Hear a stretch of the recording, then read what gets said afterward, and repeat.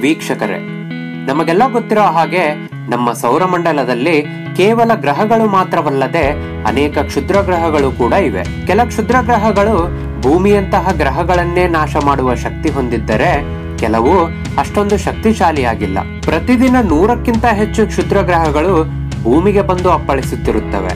ಆದರೆ ಅವುಗಳಿಂದ ಭೂಮಿಗೆ ಹೆಚ್ಚು ಹಾನಿಯಾಗುವುದಿಲ್ಲ. ಏಕೆಂದರೆ ಅವುಗಳ ಗಾತ್ರ ತುಂಬಾ ಚಿಕ್ಕದಾಗಿರುತ್ತವೆ. ಈ ರೀತಿ ಅನೇಕ ಕ್ಷುದ್ರ ಗ್ರಹಗಳು ಮತ್ತು ಗ್ರಹಗಳು ನಮ್ಮ ಸೌರಮಂಡಲದಲ್ಲಿ ಇರುವುದನ್ನು ವಿಜ್ಞಾನಿಗಳು ಪತ್ತೆ ಹಚ್ಚಿದ್ದಾರೆ. ನಮ್ಮಲ್ಲಿರುವ ತಂತ್ರಜ್ಞಾನ ಅದೆಷ್ಟರ ಮಟ್ಟಿಗೆ ಬೆಳೆದಿದೆ ಎಂದರೆ, ನಮ್ಮ ಸೌರಮಂಡಲದಲ್ಲಿ ಇರುವ ಕ್ಷುದ್ರ ಗ್ರಹಗಳು ಎಲ್ಲಿ ಹುಟ್ಟಿವೆ ಮತ್ತು ಹೇಗೆ ಹುಟ್ಟಿದವು ಎಂದು ಕೂಡ ಪತ್ತೆ ಮಾಡಬಹುದಾಗಿದೆ. ಹೀಗೆ ಗ್ರಹಗಳ ಮತ್ತು ಕ್ಷುದ್ರ ಗ್ರಹಗಳ ಬಗ್ಗೆ ಅಧ್ಯಯನ ಮಾಡುತ್ತಾ ಹೋದ ವಿಜ್ಞಾನಿಗಳಿಗೆ ಅಕ್ಟೋಬರ್ ಹತ್ತೊಂಬತ್ತು ಎರಡು ಸಾವಿರದ ಹದಿನೇಳರಂದು ಅಚ್ಚರಿ ಕಾದಿತ್ತು. ಎಂದಿನಂತೆ ತಮ್ಮ ಕೆಲಸದಲ್ಲಿ ನಿರತರಾಗಿದ್ದ ರಾಬರ್ಟ್ ವೆರಿಕ್ ಎನ್ನುವ ವಿಜ್ಞಾನಿಗೆ ಬಾಹ್ಯಾಕಾಶದಲ್ಲಿ ಬೃಹತ್ ಆಕಾರದ ಒಂದು ವಸ್ತು ಕಂಡಿತ್ತು. ಅಮೆರಿಕದ ಹವಾಯಿ ರಾಜ್ಯದ ವಿಶ್ವವಿದ್ಯಾಲಯದ ಈ ವಿಜ್ಞಾನಿಯು ಕ್ಷುದ್ರ ಗ್ರಹಗಳ ಬಗ್ಗೆ ಅಧ್ಯಯನ ಮಾಡುವುದರಲ್ಲಿ ಪರಿಣಿತರು. ಆದರೆ ಟೆಲಿಸ್ಕೋಪ್ನಲ್ಲಿ ಕಾಣುತ್ತಿದ್ದ ಆ ಬೃಹತ್ ವಸ್ತು ಕ್ಷುದ್ರ ಗ್ರಹದ ತರಹ ಕಾಣುತ್ತಿರಲಿಲ್ಲ. ಹಿಂದೆಂದೂ ಕಾಣದ ಈ ರೀತಿಯಾದ ವಿಚಿತ್ರ ವಸ್ತು ಕಂಡು ಅಚ್ಚರಿಗೊಂಡಿದ್ದ ರಾಬರ್ಟ್ ಅವರು ಇದರ ಬಗ್ಗೆ ಹೆಚ್ಚು ಅಧ್ಯಯನ ಮಾಡುತ್ತಾ ಹೋದಾಗ ಇದು ನಮ್ಮ ಸೌರಮಂಡಲದಲ್ಲಿ ಇರುವ ವಸ್ತುವಲ್ಲ. ಬೇರೆ ಸೌರಮಂಡಲದಿಂದ ಬಂದ ವಸ್ತು ಎಂದು ಅವರಿಗೆ ತಿಳಿಯಿತು. ಇದಕ್ಕೆ ಅವರು ಔಮುವಮ ಎನ್ನುವ ಹೆಸರನ್ನು ಇಟ್ಟರು.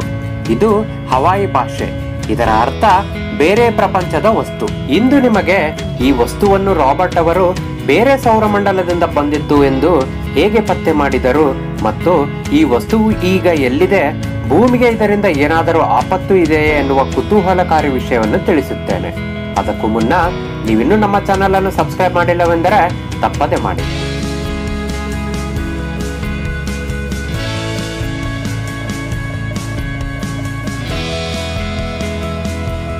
ಬೇರೆ ಸೌರಮಂಡಲದಿಂದ ಬಂದ ಈ ವಸ್ತುವಿಗೆ ಮೊದಲು ಸಿ ಎರಡ್ ಸಾವಿರದ ಹದಿನೇಳು ಯು ಒನ್ ಪ್ಯಾನ್ ಸ್ಟಾರ್ಸ್ ಎನ್ನುವ ಹೆಸರಿಡಲಾಗಿತ್ತು. ಆದರೆ ನಂತರ ಇದನ್ನು ಹವಾಯಿ ದೇಶದ ವಿಜ್ಞಾನಿ ರಾಬರ್ಟ್ ಅವರು ಕಂಡುಹಿಡಿದಿದ್ದರಿಂದ ಇದಕ್ಕೆ ಔಮೋಮೋ ಎನ್ನುವ ಹೆಸರಿಡಲಾಯಿತು. ಇದನ್ನು ಪ್ಯಾನ್ ಸ್ಟಾರ್ಸ್ ಎನ್ನುವ ಬಲಿಷ್ಠವಾದ ಟೆಲಿಸ್ಕೋಪ್ನಿಂದ ಪತ್ತೆ ಮಾಡಲಾಗಿದೆ. ಹವಾಯಿ ರಾಜ್ಯದಲ್ಲಿರುವ ಈ ಟೆಲಿಸ್ಕೋಪ್ ಅನ್ನು ಬಾಹ್ಯಾಕಾಶದ ಬಗ್ಗೆ ಅಧ್ಯಯನ ಮಾಡಲೆಂದೇ ಬಳಸಲಾಗುತ್ತದೆ. ನಮ್ಮ ಸೌರಮಂಡಲದಲ್ಲಿ ಯಾವುದೇ ಗ್ರಹಗಳ ಅಥವಾ ಕ್ಷುದ್ರ ಗ್ರಹದ ಚಲನವಲನದ ಬಗ್ಗೆ ತಿಳಿದುಕೊಳ್ಳಲು ಈ ಟೆಲಿಸ್ಕೋಪ್ ಸಾಕಷ್ಟು ಸಹಾಯ ಮಾಡುತ್ತದೆ. ಮೊದಮೊದಲು ಈ ಕ್ಷುದ್ರಗ್ರಹವನ್ನು ಗಮನಿಸಿದ ವಿಜ್ಞಾನಿಗಳು, ಇದು ಕೂಡ ಬೇರೆ ಕ್ಷುದ್ರಗ್ರಹಗಳ ತರಹ ಇದೆ ಎಂದು ತಿಳಿದಿದ್ದರು. ಆದರೆ ಮೂವತ್ನಾಲ್ಕು ದಿನಗಳ ಕಾಲ ಇದರ ಬಗ್ಗೆ ಸಂಪೂರ್ಣ ಅಧ್ಯಯನ ಮಾಡಿದ ಮೇಲೆ ಇದು ನಮ್ಮ ಸೌರಮಂಡಲಕ್ಕೆ ಸೇರಿದ ಕ್ಷುದ್ರಗ್ರಹ ಅಲ್ಲ ಎಂದು ಆರ್ಬಿಟಲ್ ಮೆಕ್ಯಾನಿಕ್ಸ್ ಆಧಾರದಿಂದ ತಿಳಿಯಿತು. ನಮ್ಮ ಸೌರಮಂಡಲದಲ್ಲಿರುವ ಕ್ಷುದ್ರಗ್ರಹಗಳ ಮೇಲೆ ಸೂರ್ಯನ ಅಪಾಯಕಾರಿ ಕಿರಣಗಳು ಬಿದ್ದಾಗ ಅದರ ಮೇಲ್ಮೈ ಆವಿಯಾಗುತ್ತಾ ಹೋಗುತ್ತದೆ. ಆದರೆ ಓಮೋಮ ಮೇಲ್ಮೈ ಮಾತ್ರ ಆವಿಯಾಗದೇ ಇರುವುದನ್ನು ವಿಜ್ಞಾನಿಗಳು ಗಮನಿಸಿದರು. ಇದಷ್ಟೇ ಅಲ್ಲದೆ ಈ ವಸ್ತುವು ಚಲಿಸುತ್ತಾ ಹೋದಂತೆ ತನ್ನ ಆಕಾರವನ್ನು ಕೂಡ ಬದಲಾಯಿಸುತ್ತಾ ಹೋಗುತ್ತಿತ್ತು. ಹಾಗೂ ಇದರ ಸಂಪೂರ್ಣ ಉದ್ದ ಇನ್ನೂರು ಮೀಟರ್ ಇದ್ದು ಅದರಲ್ಲಿರುವ ಒಂದು ಮೀಟರ್ ಉದ್ದವು ಕಲ್ಲು ಅಥವಾ ಲೋಹದಿಂದ ಮಾಡಿದೆ ಎಂದು ಟೆಲಿಸ್ಕೋಪ್ ಮೂಲಕ ವಿಜ್ಞಾನಿಗಳು ಪತ್ತೆ ಮಾಡಿದರು. ಇಷ್ಟೊಂದು ಉದ್ದವಿರುವ ವಸ್ತುವನ್ನು ನಮ್ಮ ಸೌರಮಂಡಲದಲ್ಲಿ ವಿಜ್ಞಾನಿಗಳು ಇದಕ್ಕೂ ಮುಂಚೆ ಪತ್ತೆ ಮಾಡಿರಲಿಲ್ಲ.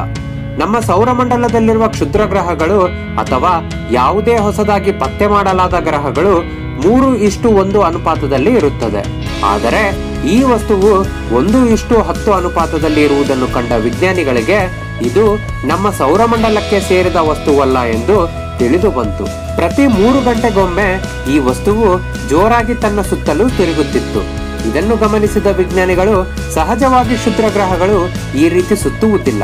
ಆದರೆ ಈ ವಸ್ತುವು ಈ ರೀತಿ ಸುತ್ತುತ್ತಿರುವುದನ್ನು ಕಂಡು ಅಚ್ಚರಿಪಟ್ಟಿದ್ದರು. ಕೆಲವು ವಿಜ್ಞಾನಿಗಳು ಹೇಳುವ ಪ್ರಕಾರ, ಇದು ಅನ್ಯಗ್ರಹದ ಜೀವಿಗಳು ಬಳಸುವ ನೌಕೆಯಾಗಿದ್ದು, ನಮ್ಮ ಹಾಗೆ ಅವರು ಕೂಡ ಜೀವಿಗಳನ್ನು ಹುಡುಕುತ್ತಾ ನಮ್ಮ ಸೌರಮಂಡಲಕ್ಕೆ ಬಂದಿದ್ದಾರೆ ಎಂದು ಮೊದಮೊದಲು ನಂಬಲಾಗಿತ್ತು.